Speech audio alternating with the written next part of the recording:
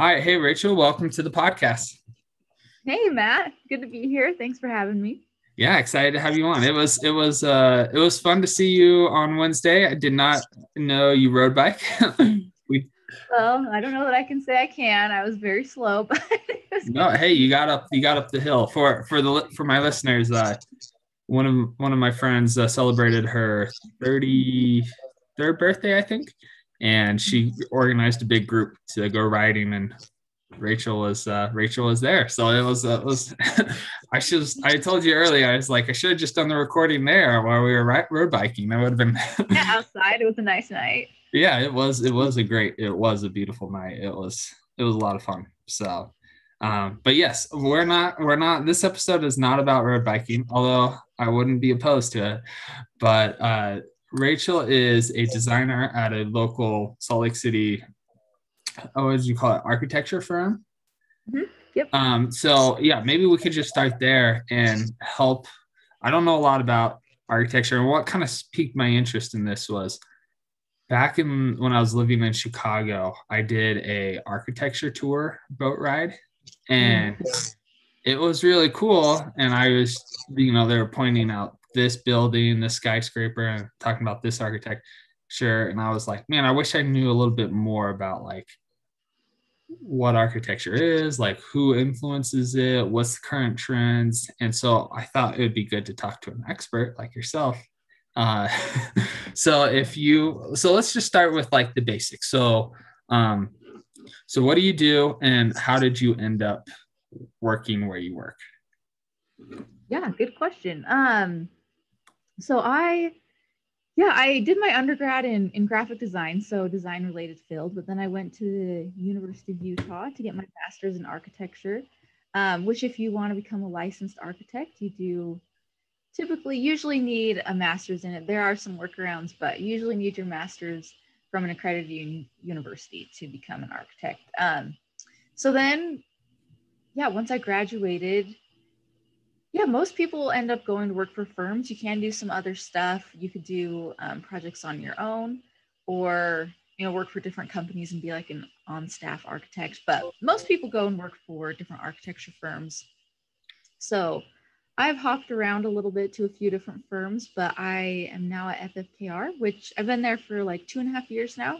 Okay. Um, and it's a little bit larger firm. So we do mostly um, commercial stuff. There are some smaller firms that do residential things, but we do uh, kind of a spectrum of different commercial stuff. Okay. So Utah's been growing quite a bit. Have you, there's a couple of new skyscrapers. Are you working on that kind of commercial or like what, what kind of commercial buildings are you working on?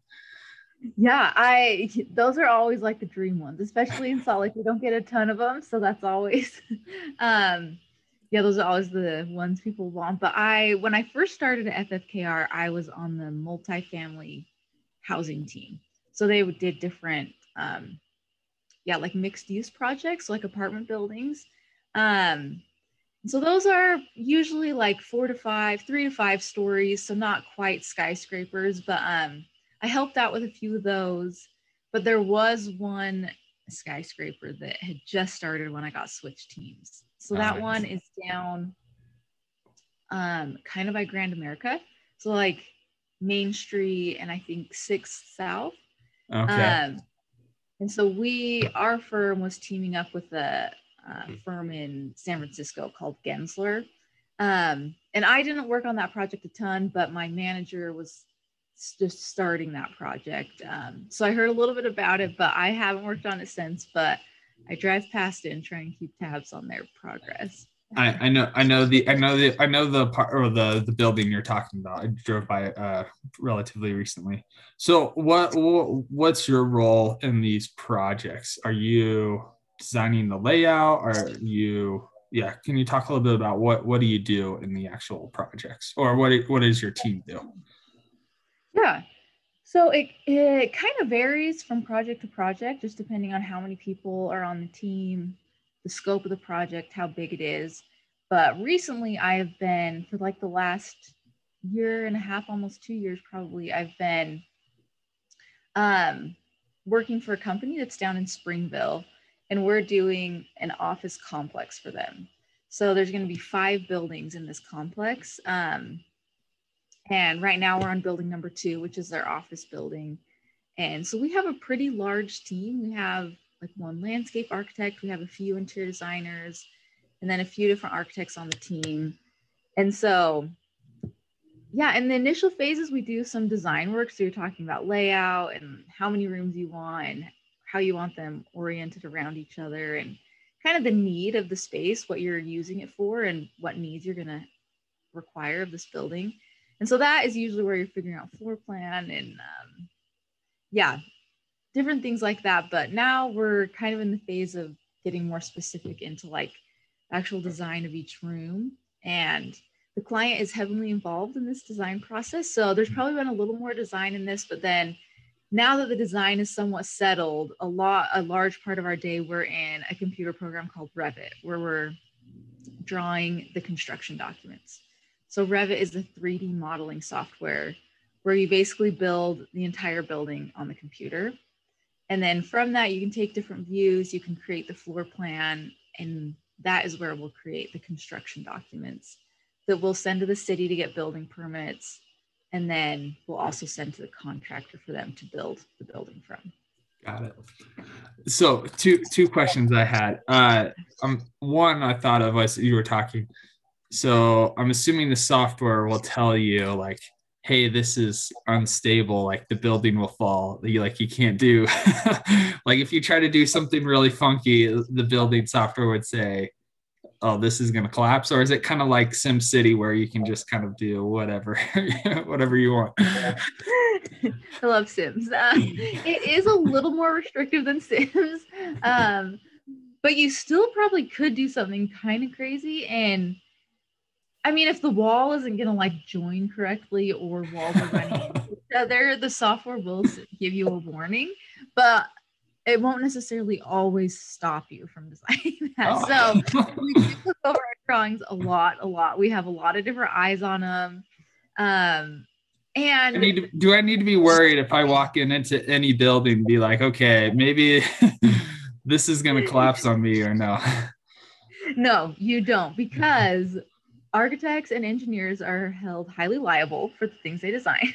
so oh. they go through a lot of intense review processes. Um, and the engineers, so usually on all, well, yeah, on all of our projects, we'll have a structural engineer. Oh, okay. So we'll like design it, we'll do what we think is good. And then the structural engineer will come in and they'll figure out the beams and like the actual structure of the building and make sure everything works and how it's going to work and come together so that it doesn't fall down because that's well that, that's that's that's yeah. comforting.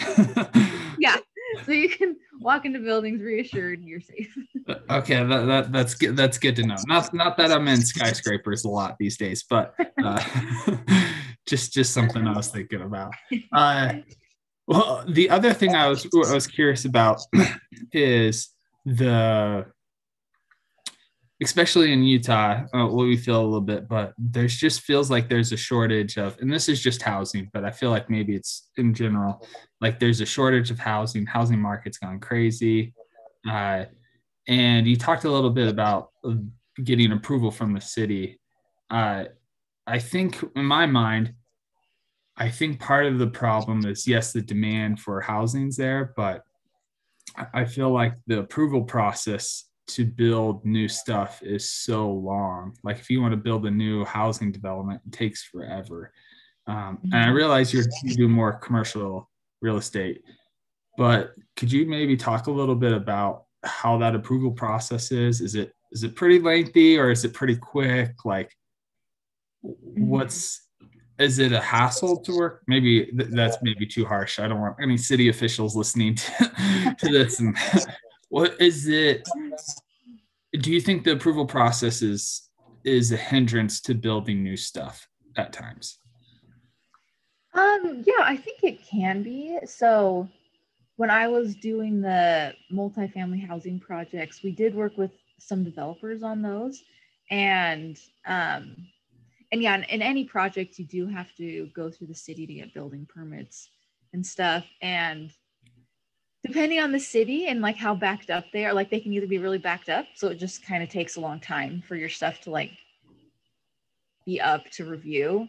Um, but then also depending on the city and like their specific requirements or restrictions, some cities can be a little bit harder to get past than others. Just they might have different, yeah, just like different requirements you have to meet, different restrictions. Are they, um, are they like environmental restrictions? Are they like design restrictions? Like it needs to match the rest of the buildings, or like what kind of restrictions do you normally see? Yeah, it can be any of that. So it could be, yeah, like environmental. There's usually like parking or occupancy restrictions, oh. fire code restrictions. Um, like in downtown, there's different zones that buildings can only be like certain heights depending on like what zone they're in um, or like how much land your building can take up on any given lot. There's like ratios in that. Um, so there can be like a lot of different requirements. And and there's like some that are standard throughout every city, but then there are some specific ones to just different cities that that they can have different ones depending on where you're at. So I know Park City can be pretty restrictive, um, and and maybe more so than yeah than different ones. So you kind of get to know which cities you like to work with and which oh. ones are maybe challenging we, we won't have you disclose on the air but we will say park city is very expensive to live and springville provo maybe not nearly as expensive. Yeah yeah yeah i think that's accurate. Fair okay cool. Well uh well i guess kind of maybe switching a little bit more to uh, you and like your inspiration for uh, your designing buildings and stuff. Like what's and this is kind of goes back to that chicago trip that i took the little tour. Um like what made you want to be an architect and like where what influences uh do you guys like where do you draw a lot of your inspiration or influences from when you're designing stuff? Is it just pretty standard most of the times? Like hey this is what a room's always going to look at? I guess we'll start with the first questions first. So like what made you want to be uh you know an architect? Yeah i so we moved around a decent amount growing up. Not like tons but we lived in a, in some different houses and so yeah, I experienced a few different houses, a few different spaces, watched my parents like fix them up and decorate them. And I always thought that was kind of fun. Um, my dad worked in real estate too. So we'd go like walk through different buildings and different homes that were like oh, cool. um, projects of his. So I always liked that. And then in high school, I took a few interior design classes. Um, and I felt like I had more of a natural inclination for like math but I really enjoyed design. And so I like that architecture kind of joins them a little bit. Mm. And I don't think architecture uses, once you're actually working in it, doesn't use as much math as people might think. But that's what kind of like, you know, sparked my interest. Like, oh, it seems like a good combination of like math and, you know, laying things out and stuff. But it wasn't quite engineering, but maybe a little on those lines, but then also had like the, the design aspect of it that I really like. Yeah, the marrying of math with creativity a little bit. Mm-hmm. Yeah. Yeah. No, I, I get that for sure. Uh, so when like what's the current influences for design in buildings? Uh, you know, I feel like a couple years ago things were all about modern. Now I don't feel like I don't know. I feel like there's more of a farmhouse you know mm-hmm. uh, maybe that's the chip and Joanna influence you know their popularity I, I mean this is just me as a casual observer uh, mm-hmm.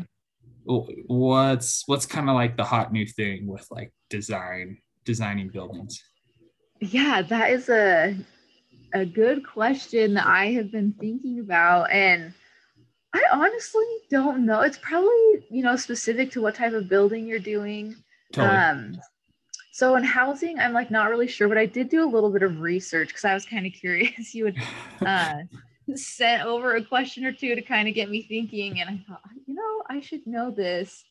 Um, and so as far as influences go, when we're like starting a project, we'll usually look at like precedent projects. Mm-hmm. So if we're going to do an apartment building that's like roughly this size, we might look at similar projects done. Um, and not that we want to copy those, but it kind of gets the juices flowing. You start brainstorming. You can think of, you can see things in real life that you like or maybe don't like, uh, or that might fit the needs of the client or that don't.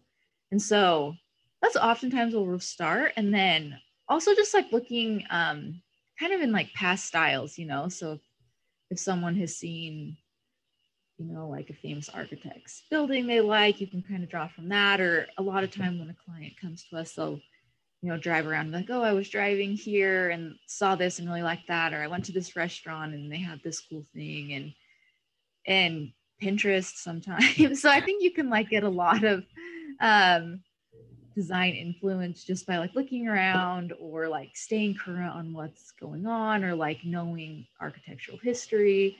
So I think it can come from a lot of different resources.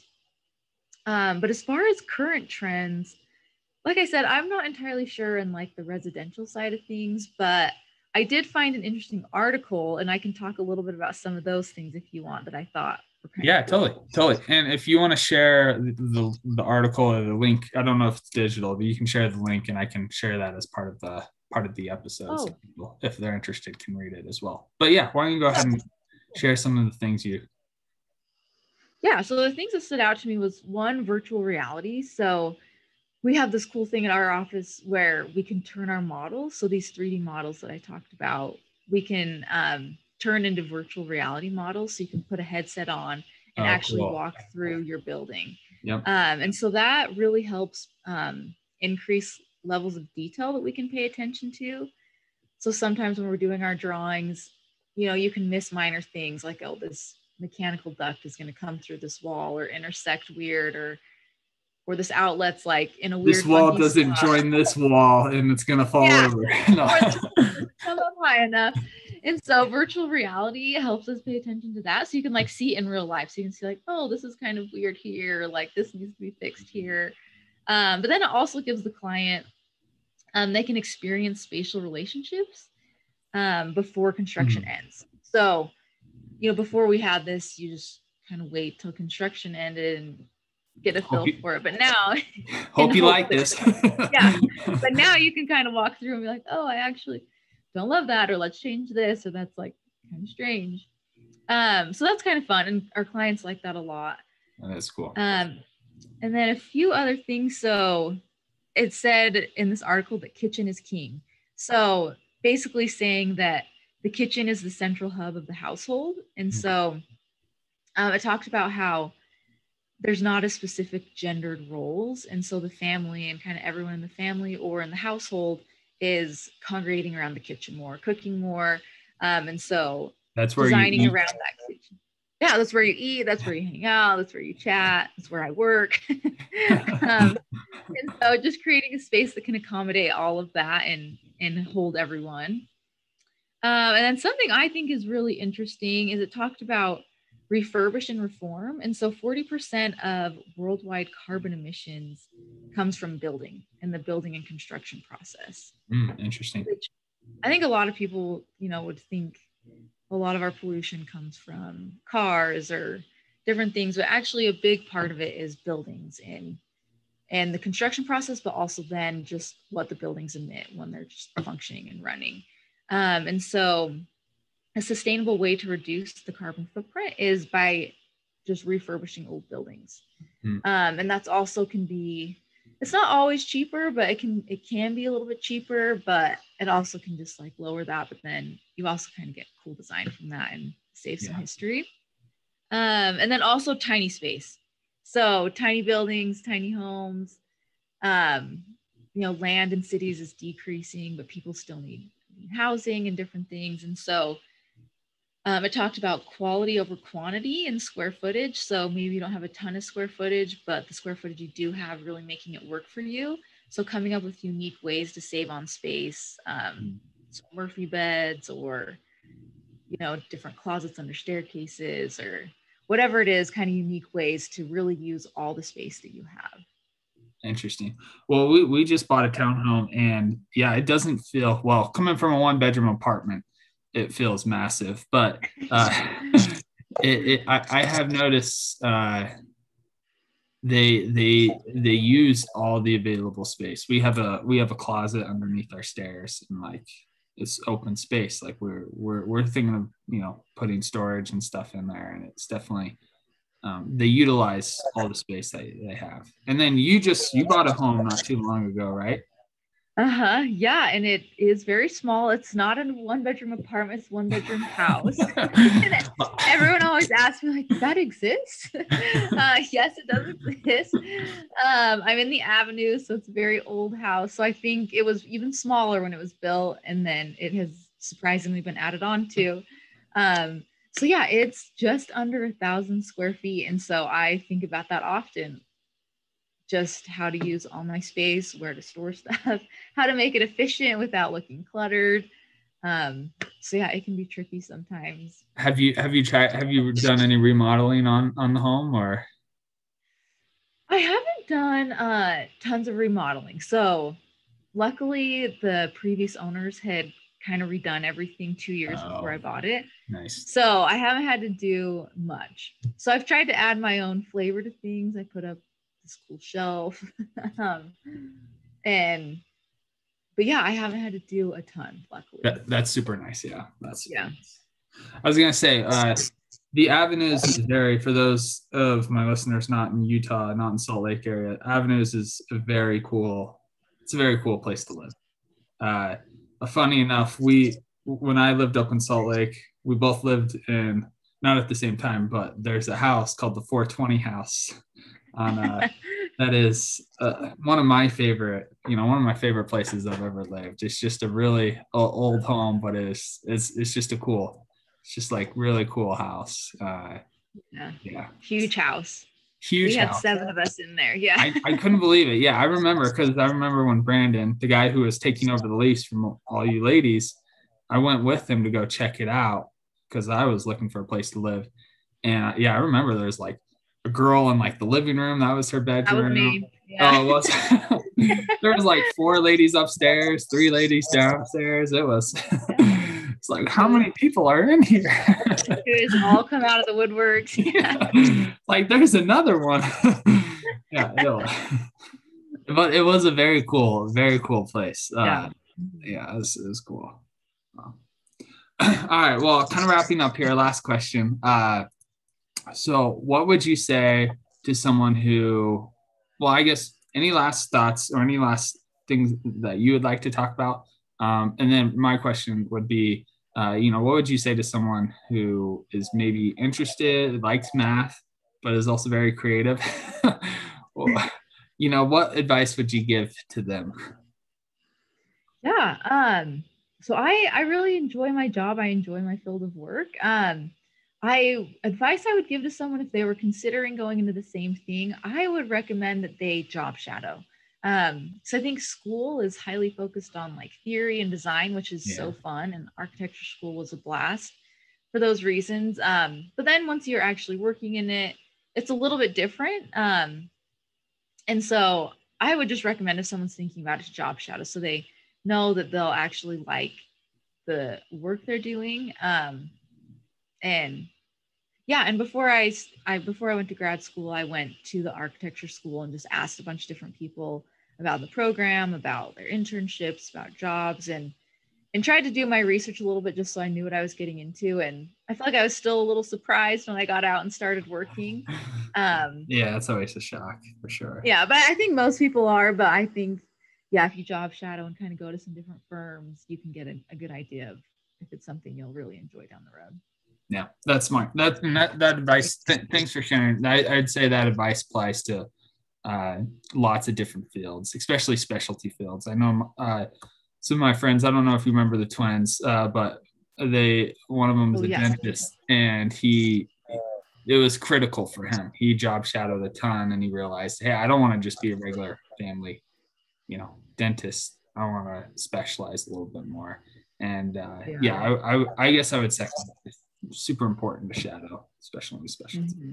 for sure. So, well, Rachael, uh, any other things before we, we wrap up here? Anything else you'd like to share? I don't think so. No, I think we, we covered a lot of good things. Awesome. Well, thanks a lot for coming on. I really appreciate it. And I, I know our listeners will appreciate it as well. Uh, thanks for taking some time this morning and oh, discussing. Oh, yeah. And uh, yeah, yeah, thanks well, for having me.